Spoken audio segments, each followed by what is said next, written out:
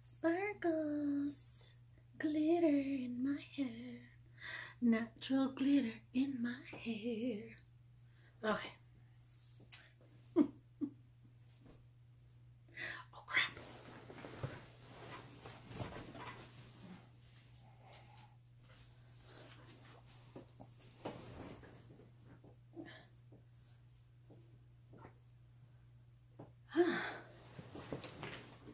Oy. Oh, that's graceful. Okay, hi everyone. I'm April, and you're watching The Tangled Cat Speaks. It's Sunday evening. No, no, it's not. It's Monday evening. Monday. I'm a day late. Um, I didn't podcast yesterday on Sunday because I was still working on. Dang it! I still forgot to grab them. April Davis, start over. Get up like 80,000 times and I still don't get what I need. So, it's Monday night and I didn't podcast yesterday because um, I had just a few decreases left on the second toe of my two color socks and um, I really, really, really wanted to get those done, and I just couldn't do it. um, I got them done, but I was tired and it was late, and I just didn't didn't get to it. And then I went to work today. I got off work and I got distracted by other things some more, so I didn't podcast earlier tonight. So it's almost 7:30 in the evening but anyways, I did get my socks done and I was able to post them in, in all of the little sock threads. Um, I did the Brown Bagging It Sock Club, um, the um, Joji Fall KAL, and in Grocery Girls. Um, so, yay, I got, and please don't judge because I did wear these and they're kind of full of cat hair. But I got them both done. See? Yay, I got two socks in there. Obviously, like I said, I wore them and I haven't put them back on the sock, sock blockers to show you, but I got them both done. Um, so these are the two color socks by Joji Locatelli. And this is Three Irish Girls get some better lighting. Three Irish Girls Adorn. This is the cognac color. And this is Nerd Girl Yarns. They're Bounce and Stomp base and it's Eyes Bright, Chins Up, Smiles On. I have to always think about that one. It's such a long name. Um, so I got it done. The only thing that I didn't do, because I'm kind of lame, um, was the the texture patterning that she had along the front of the sock. I didn't do that because I kind of once I did the heel and I started going back in the round, I kind of forgot. so then I thought, oh, I'm going to do it when I get to the end of the gusset stitches. It didn't happen. I forgot again.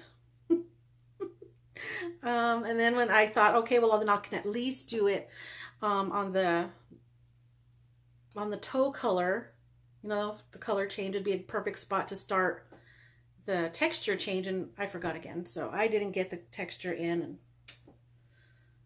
so they're soft, flat, stockinette. but I still like it. I think that it turned out well, especially considering that the one color is a variegated yarn. Excuse me. It's, it's really, you know, you can really still see all of the lace because it's light enough and it kind of striped and pulled. But I love it. And they fit perfect. Um, I did, what did I did? 72 stitches. I'm loving them. Super pretty. Yay. Um, I haven't worked at all on my softness cardigan, the lace cardigan that I was telling you I was going to do like a fade kind of um, gradient on it. I haven't worked on it. I still have the very beginnings of the yoke. It's a raglan. Um, I haven't even touched it. Um, but as soon as I finished these socks, I had to cast on something. So the first thing I thought of was the yarn that I showed you that I had dyed myself um, with food coloring, and it was the, um, it's all cake, they're both caked up. It's worsted weight yarn, and these were the ones that I dyed with, it started off with avocado, but it was too light. It really was only like a creamy, creamy tan. So I added the Wilton's food colorings in the royal blue, the copper, and the brown colorways. And it came up with this really pretty variegated yarn. Um, and they came out pretty similar. Um, well, at least they looked like that in the skeins. Um, but now that I've got them caked up and I've started something, I'm not sure. I think they'll be they'll be similar. They're definitely not exact, but I'm okay with that. I'm just excited to play with it. Sorry, I got everything twisted because what I'm doing are some mittens. Um, so I'm doing them in tandem.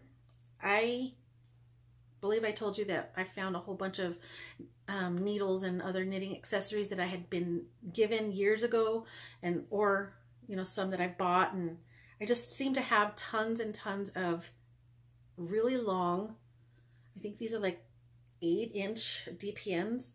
So I had enough of this one particular size. These are a, a US size five,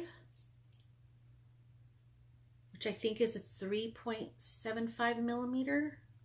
I'm not positive, but I had a bunch of them. So I'm knitting these in tandem so that I don't have to, you know, keep too much track of like note taking and everything to get the second one correct. And so I don't get, is that a thing? Second mitten syndrome? it doesn't, it doesn't flow as well. But that's what I'm doing. I'm knitting them in tandem. So that's why everything's kind of tangled right now. But I'm really loving how, let's see, this side is probably, how the colors are kind of starting to spiral Oh, I'm loving it so much. I'm so happy that I decided to use those colors. And I'll have to put the name of the mittens that I'm using up here because I can't remember right now. But that's what I started on. So I'm only that far.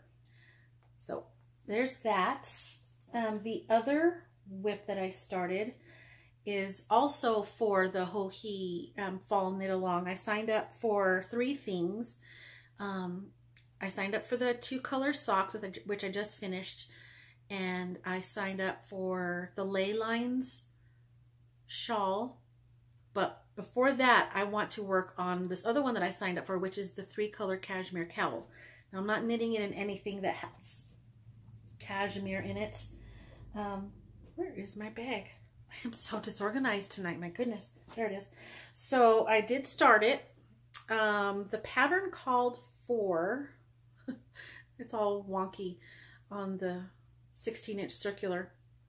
But the pattern called for a 3.0 millimeter and I didn't have a 16 inch circular in that size. So I went down to, I had the choice of either 3.25 millimeter or a 2.75 and I decided to go down and use the 2.75.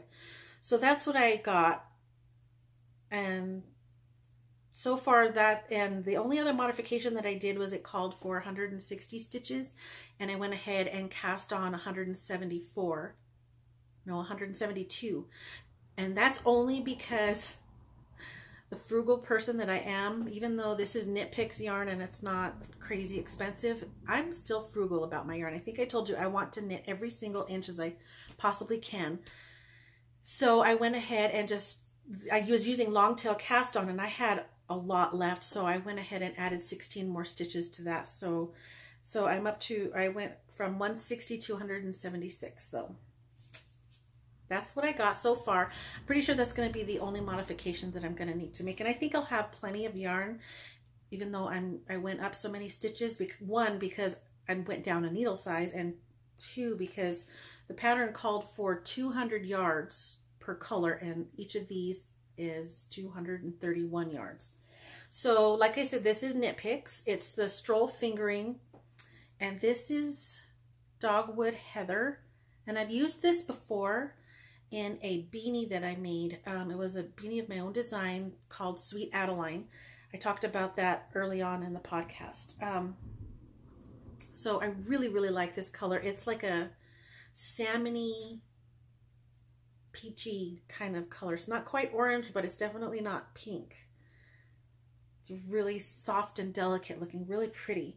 The other color that I'm using is um, Agate Heather. And this is kind of a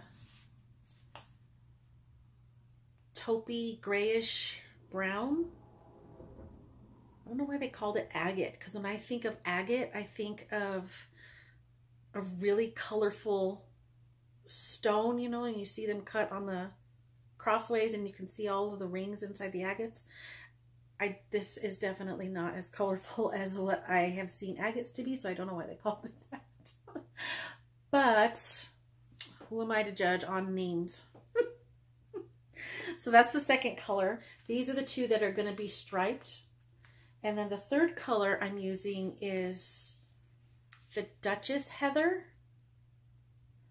And it's a very pretty purple. So this is going to be that one section of like the pop of color. So that's what I'm doing. I think it's just very, very pretty. I think they're colors that I probably wouldn't have thought to put together before, but seeing them on my shelf, I was just like, oh, that's pretty. There's one section that one of the colors is used in a lace pattern and I couldn't decide if I wanted it in this one or this one. So I had my son choose and he said to do it in this one. So that's what's going to happen. But I'm still here. It's still a baby. Hasn't grown up yet. So I'm working on that. And then I also started some socks because it's October 1st. And I pulled out my yarn for the October Brown Bagging It Sock Club. And I pulled out this. This is also Knit Pick Stroll. I don't have the tag to this anymore. But this was, this is called Dandelion. Like a lemony yellow. Kind of looks sunflowery in this screen, but it's a little bit brighter than this but it's not quite like neon highlighter yellow either. Just like a sunny lemony yellow. So, and it was, I've only, I only had the one 50 gram skein and I, I knew that I was going to need a little bit more than that for a pair of socks. So I found um, this other yarn. A while back I bought, of course I bought tons and tons of Pandia's Jewels yarns, but she was, she, for every now and then she sells these, she calls them Color Me Happy kits and they're five mini skeins of yarn and by mini that's not really mini they're more like half skeins. Each one is 50 grams so there's five 50 gram skeins um, of coordinating and contrasting colors. And one of the I bought several of these kits from her over the over time but this one was called the Rogue and it came with two shades of blue a gray and like a greenish blue kind of, and then a brown. So I took the brown from there and I thought that I would pair these two. And I didn't know what pattern I wanted to make, but I'm going to be doing some sort of striping, um, contrasting. I think this is going to be the, this is the heels and cuff. I'm not sure which one I want to use. I'm sorry, toes and cuffs. I'm not sure which one's going to be the heels.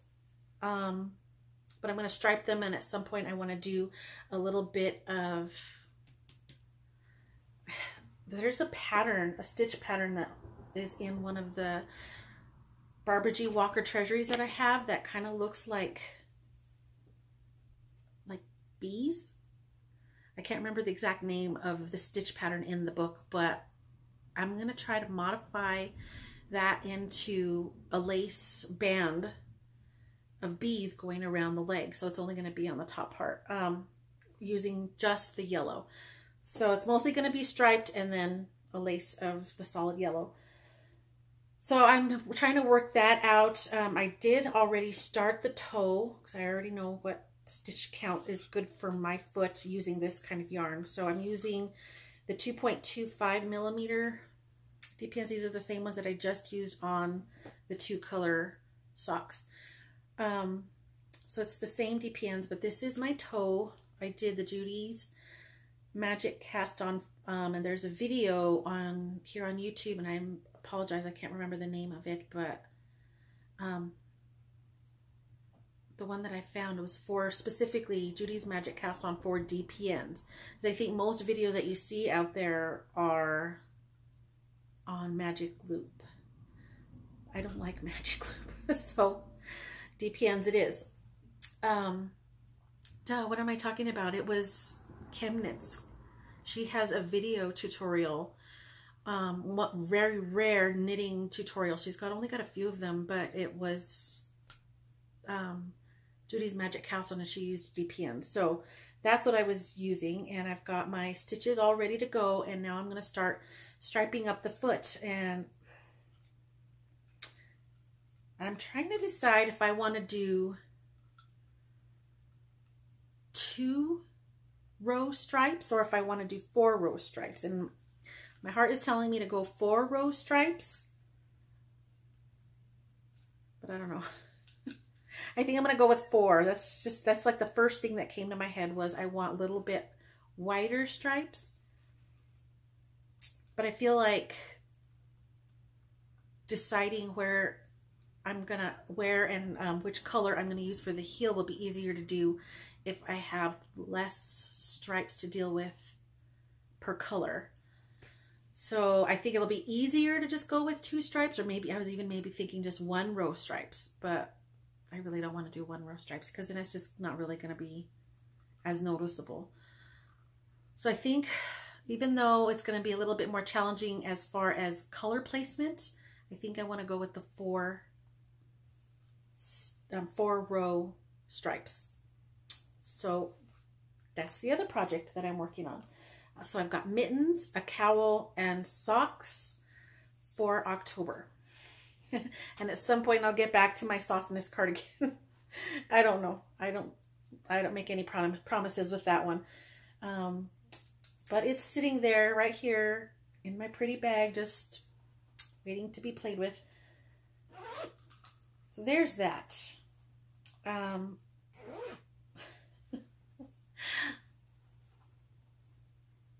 speaking of Chemknits creation, Chemknits, um, she has her Etsy shop called Chemknits Creations. And I've mentioned her before. She does a lot of um, dyeing experiments on her YouTube tutorials. Um, and it's mostly her experimenting for new techniques and stuff new to her. Um, and most of it was always food coloring or, you know, different, different things.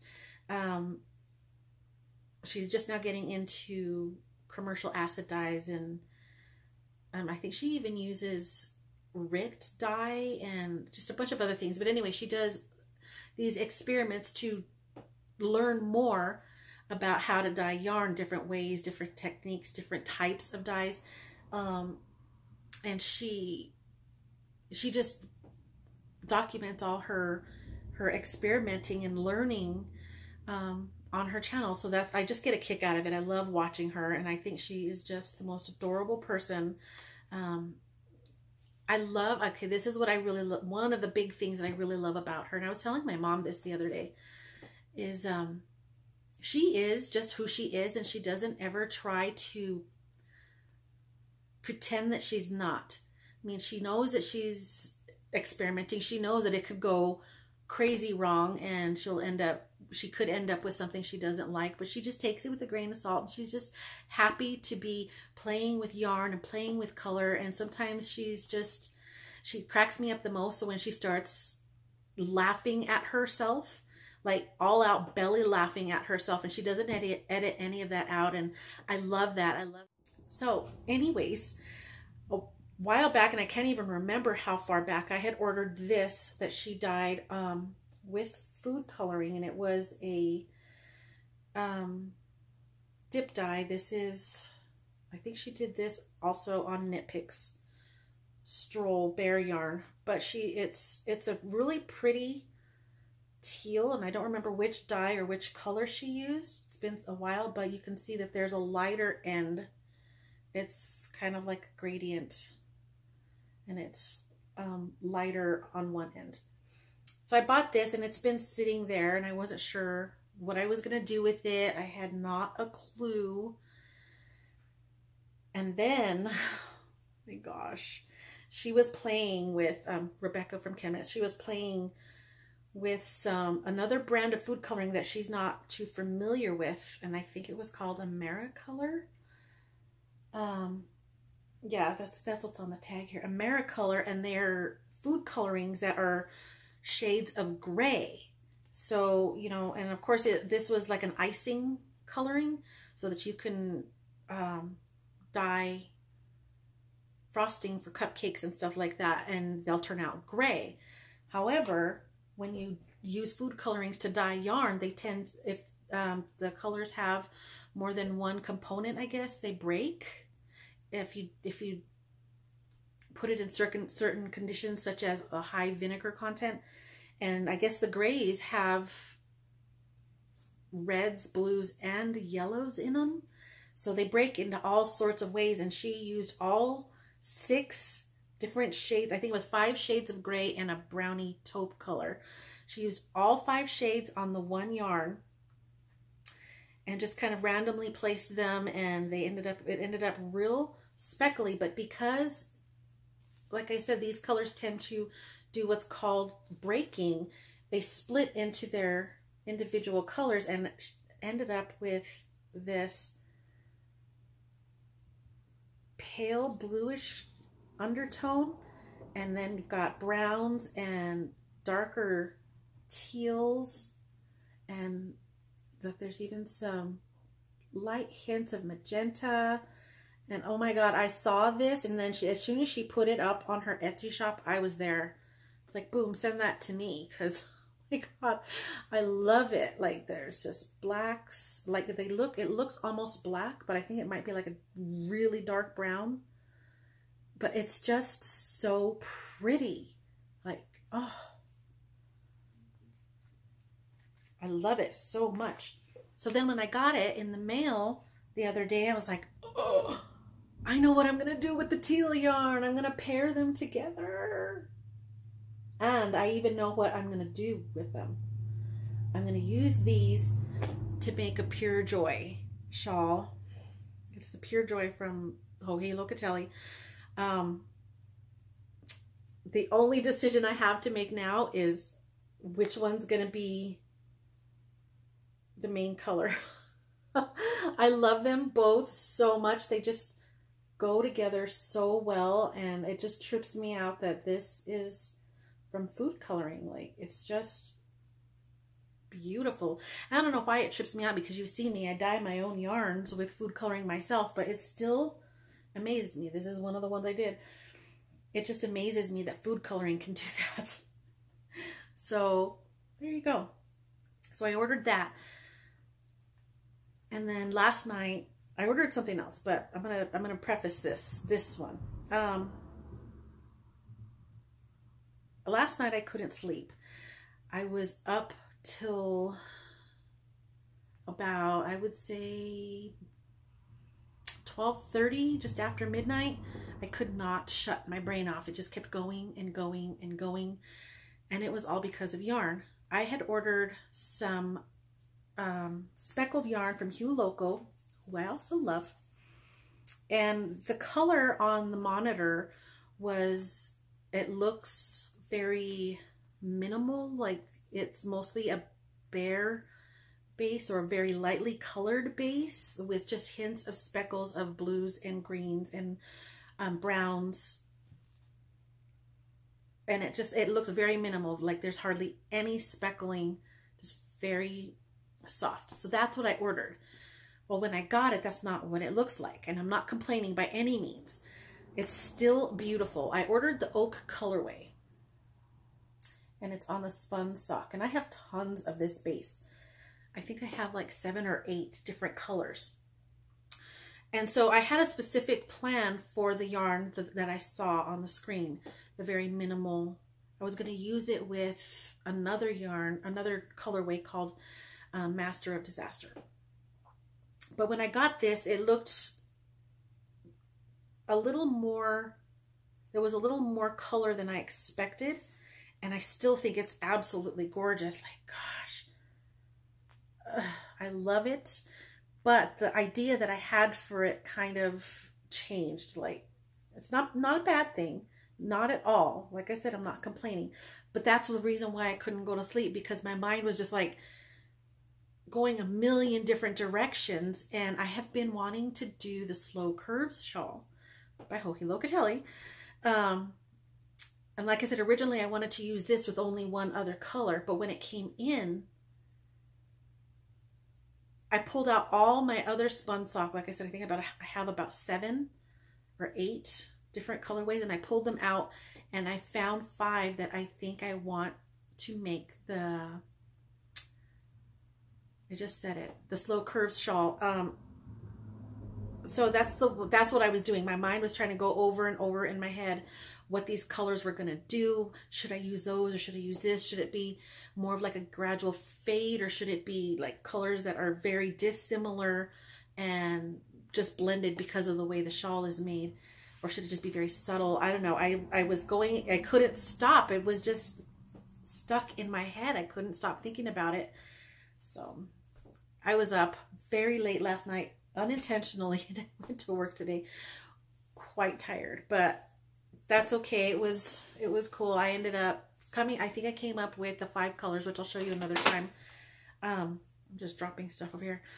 Um, but I'll show you the co five colors that I've chosen when I get closer to actually working on that shawl, which isn't going to be for a while. But acquisition, and I love it.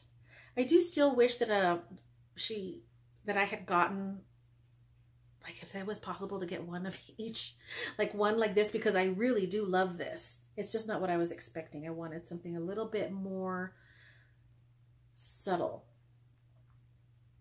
And I love this, but I think I would have loved it the other way too.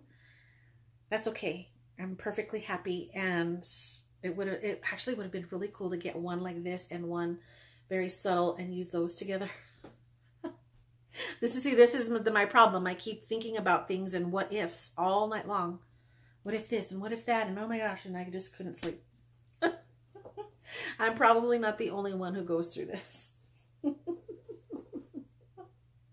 so um, I did start um, The Labors of Hercules by Agatha Christie. I am I'm actually still only in the forward, about to get to the first story, but um, I forgot how much I like this story. It's this is an, an interesting one. I think it's it's basically um Hercule Poirot is just trying to decide whether or not he wants to go and retire from being a private detective and just stay away from crimes and go and plant a garden in some small village live in a small village in a small cottage and have his own little garden and